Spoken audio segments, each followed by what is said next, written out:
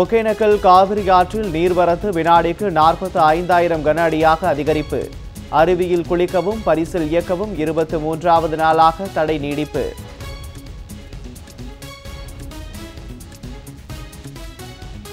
தொடர் மழையால் ஐம்பத்தைந்து அடியை எட்டியது மஞ்சளாறு அணை நீர்மட்டம்.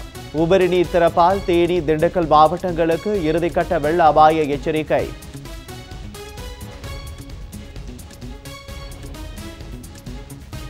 இந்தியாவில் மிகவும் வேகமாக வளரும் மாநிலம் தமிழ்நாடு. குடியரசு துணைத் தலைவர் வெங்கையா நாயுடு பாராட்டு.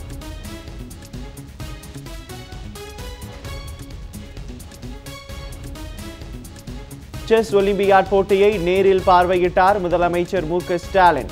உலக தரம் வாய்ந்த ஏற்பாடுகள் என பாராட்டுகள் குவிந்து வருவதாக பெருமிதம்.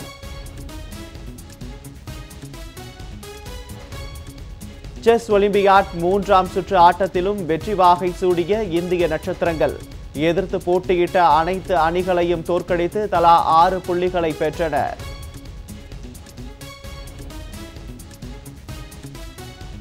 வணிக பயன்பாட்டுக்கான எரிவாயு சிலிண்டர் விலை முப்பத்து ஆறு ரூபாய் ஐம்பது காசுகள் குறைப்பு. வீட்டு உபயோக சிலிண்டர் விலை குறைக்கப்படாததால் ஒன்றிய அரசு மீது மக்கள் அதிருப்தி.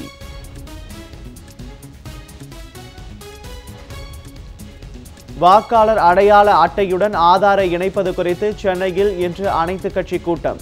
திமுக காங்கிரஸ் உள்ளிட்ட ஒன்பது கட்சிகளுக்கு தேர்தல் ஆணையம் அழைப்பு.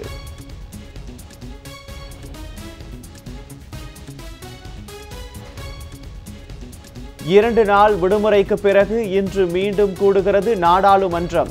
விலைவாசி உயர்வு குறித்து மக்களவையில் விவாதம்.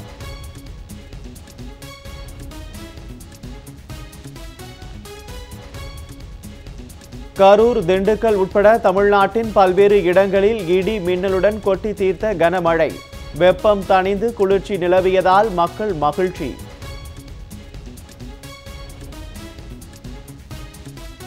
நெல்லை தென்காசி உள்ளிட்ட எட்டு மாவட்டங்களில் இன்று மிக கனமழைக்கு வாய்ப்பு. மதுரை உள்ளிட்ட பத்தொன்பது மாவட்டங்களில் கனமழை பெய்யக்கூடும் என வானிலை ஆய்வு மையம் தகவல்.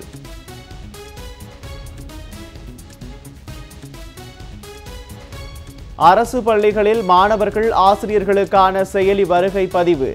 தமிழ்நாடு முழுவதும் இன்று முதல் அமல்.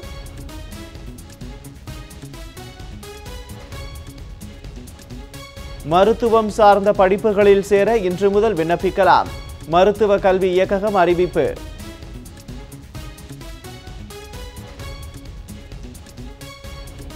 காமன்வெல்த் விளையாட்டில் இந்தியாவுக்கு மூன்றாவது தங்கம். பழுதூக்கும் போட்டியில் இந்திய வீரர் அச்சிந்தா புதிய சாதனை